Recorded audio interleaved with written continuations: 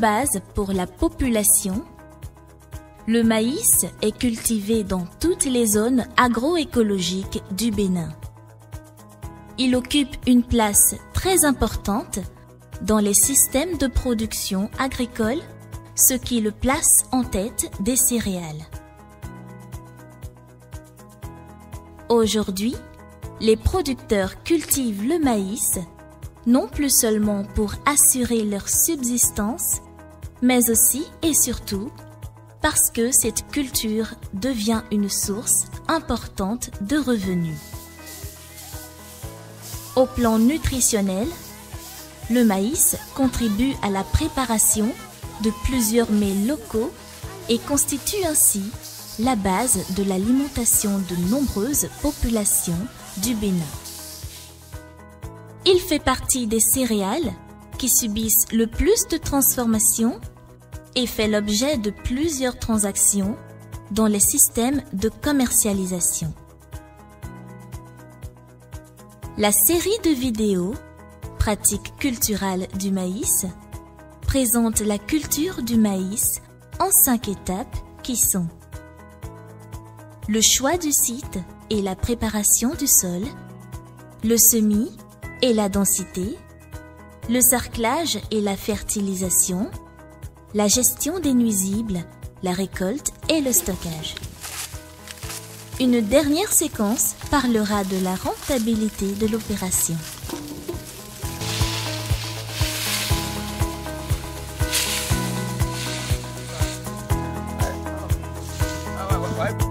Première étape. Choix du site, préparation du sol.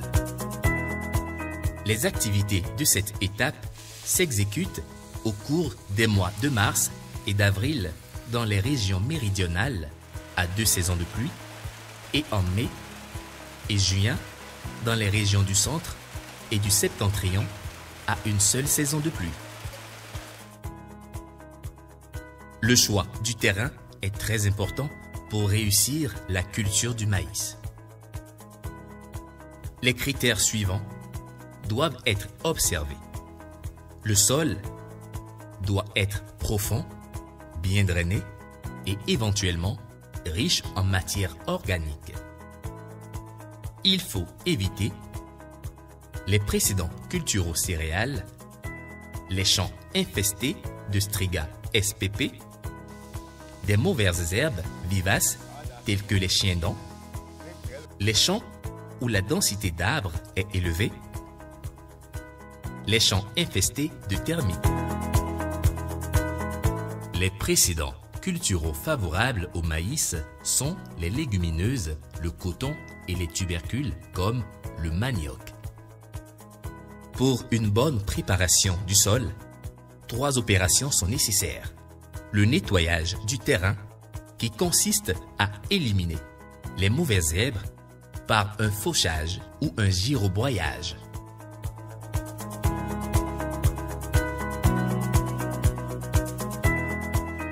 La rareté de la main-d'œuvre peut pousser l'exploitant à opter pour le désherbage chimique. À cette étape, il s'agit d'appliquer un herbicide de prélevé comme Kalash 360 SL ou Glycel 41% immédiatement après le semis avant 48 heures pour empêcher l'enherbement du champ.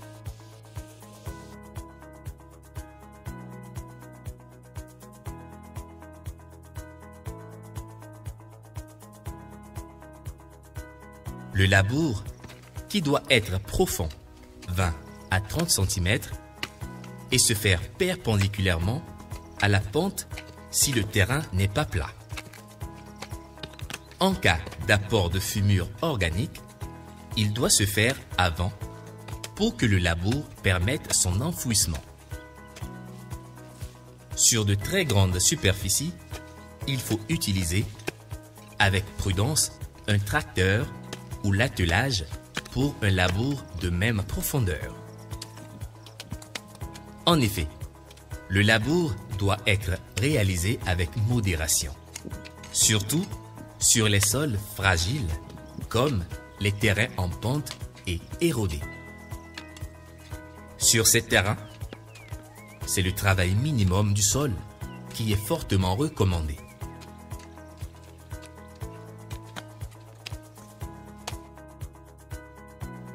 Le nivellement du sol par une bonne pulvérisation ou herçage au moins 15 jours après le labour.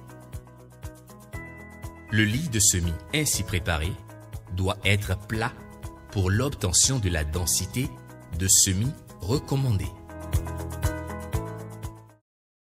Deuxième étape, le semis et la densité. Le choix de la variété. Plusieurs variétés de maïs sont actuellement en vulgarisation au Bénin. Le choix de la variété dépend des objectifs de production, de la zone agroécologique dans lequel se situe le champ et de la demande du marché. Voici par exemple les noms de quelques variétés avec leur cycle. EVDT de 120 jours. BEMA 111 de 105 jours. TZE Composite 4 de 90 jours. SINE 2000 de 75 jours. Le conseiller agricole de la localité en poste à la cellule communale de l'ATDA est la personne habilitée à indiquer la variété à semer. Le taux de germination est indiqué sur l'étiquette de la variété.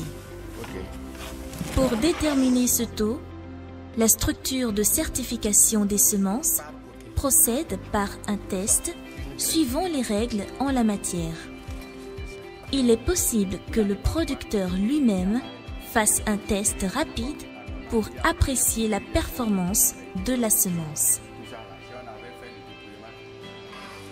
Les semences peuvent être semées directement ou traitées si elles ne le sont pas avant la vente.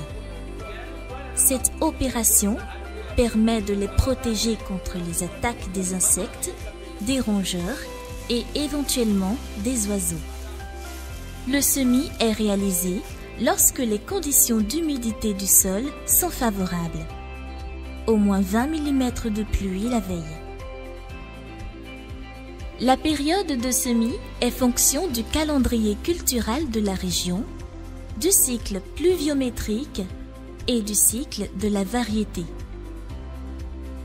Dans la zone méridionale du Bénin, le semis est réalisé en avril pour le maïs de la première saison et en août pour celui de la deuxième saison. Dans la zone septentrionale, à une seule saison de pluie, le semis est réalisé entre juin et mi-juillet. Le semis peut être manuel ou mécanique. Dans les deux cas, l'écartement entre les lignes consécutives est de 0,80 m et de 0,40 m entre les poquets. Il faut deux plants par poquet, ce qui donne un total de 62 500 plants par hectare. Pour faciliter l'opération de semis en ligne, il faut utiliser des piquets et les ficelles de semis bien graduées. Une semaine après le semis, il faut constater la levée. Si pour une raison ou une autre, elle n'est pas homogène, il faut procéder immédiatement au ressemis.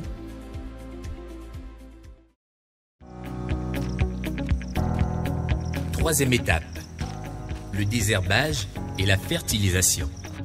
Le désherbage peut être manuel, mécanique ou chimique.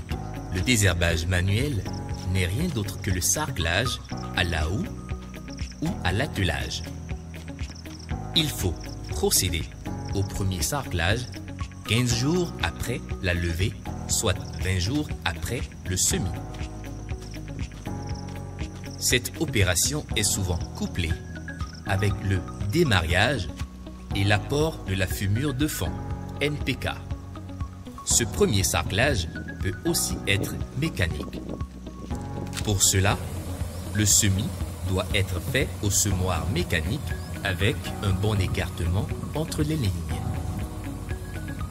On peut limiter l'enherbement du champ par le désherbage chimique qui consiste à appliquer un herbicide sélectif de poste levé comme par exemple Lagon 380 SC ou Nicomaïs 40 SC dans les 15 jours qui suivent le semis.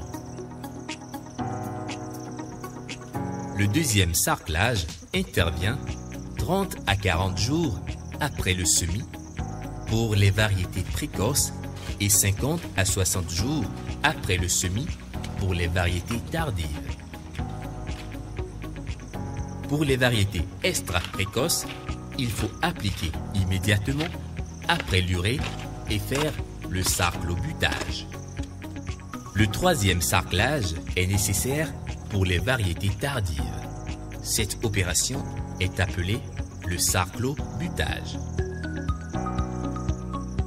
La fertilisation consiste en des apports d'éléments sous la forme de matière organique ou d'engrais minéraux complexes NPK-SB, urée ou toute autre formulation propre à la culture. Le premier épandage d'engrais est réalisé au semis ou après démarrage couplé avec le premier sarclage ou juste après celui-ci. Cette opération est appelée épandage d'engrais de fond NPK. Le type d'engrais recommandé est l'engrais complexe NPK SB 14 23 14 5 1 ou l'engrais spécifique maïs 15 15 15 ou 20 20 20. La dose recommandée par la vulgarisation est de 200 kg par hectare, soit 4 sacs de 50 kg.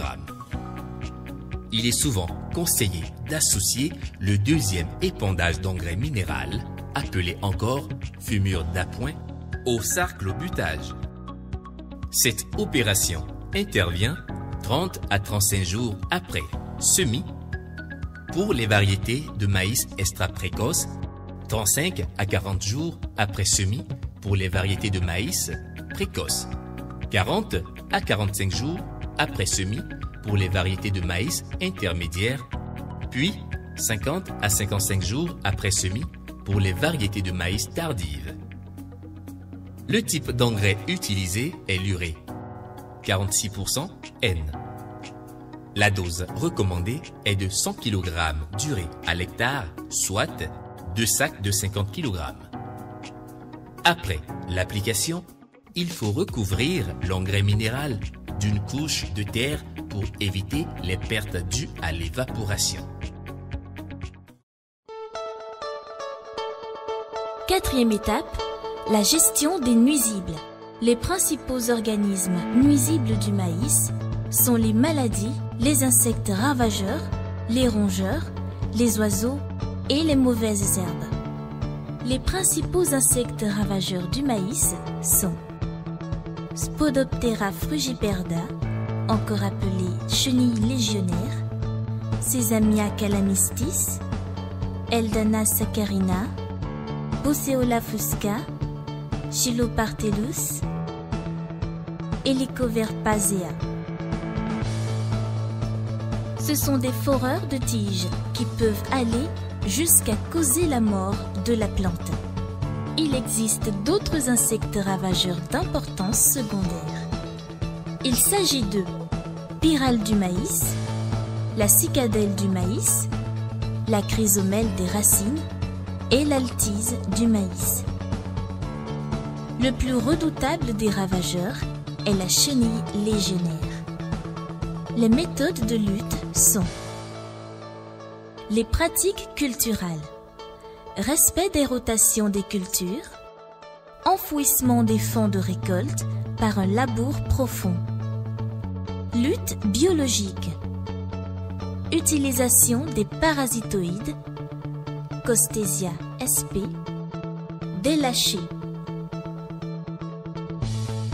À peu de choses près, la méthode de lutte est la même pour tous les ravageurs.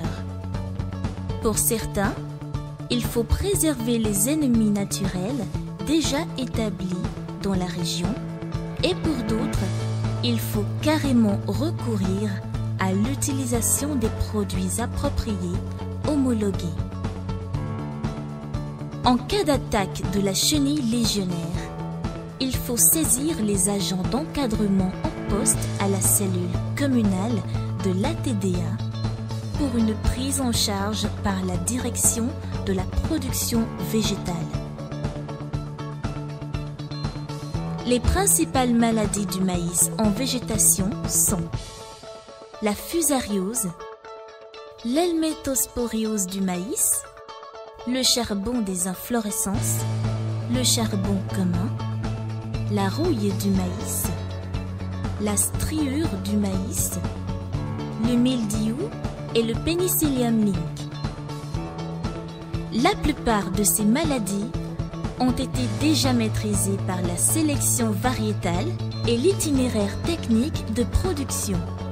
À titre de rappel, il faut éviter de semer le maïs sur plusieurs campagnes consécutives, faire la rotation des cultures, réduire les facteurs de stress, spécialement durant la période de floraison, choisir les variétés tolérantes et surtout utiliser des semences traitées.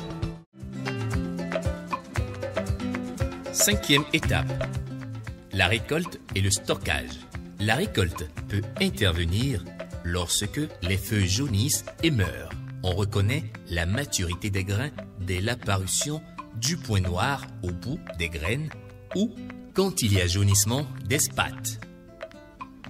Pour éviter de ramener en stock des larves d'insectes qui ont commencé à se développer au champ, il faut ouvrir les spates, enlever les épis et laisser les spates au champ.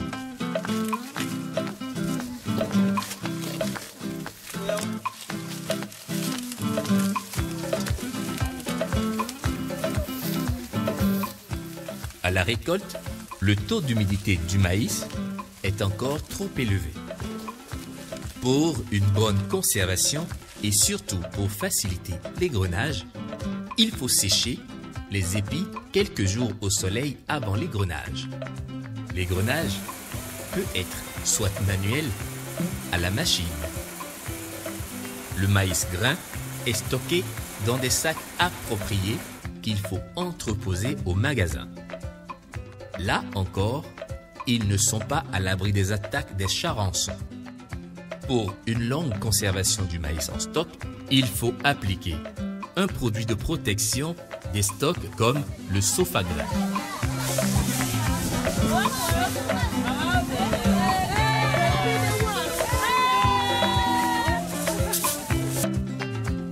La rentabilité en respectant strictement l'itinéraire technique et s'il n'y a pas d'attaque généralisée comme c'est le cas. Certaines années, le producteur peut atteindre un rendement important en considérant le rendement moyen de 2 tonnes de maïs grain par hectare si le producteur cède toute la production à 125 francs le kilogramme, période d'abondance, il s'en tire avec un bénéfice net de 150 000 francs. En considérant qu'il a engagé 100 000 francs de dépenses par hectare, il peut aussi attendre la période de hausse des prix pour procéder à la vente. En période de soudure, le maïs se vend à 225 francs par kilo.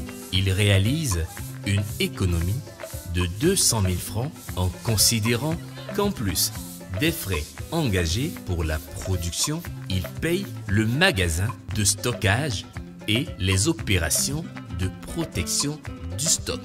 Certains producteurs n'attendent pas que le maïs sèche au champ.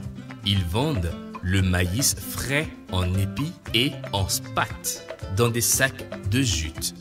Il est prudent de ne pas avancer sur la rentabilité de cette opération, puisqu'aucune étude statistique ne s'est encore penchée sur ce nouveau mode de session du maïs en robe de champ.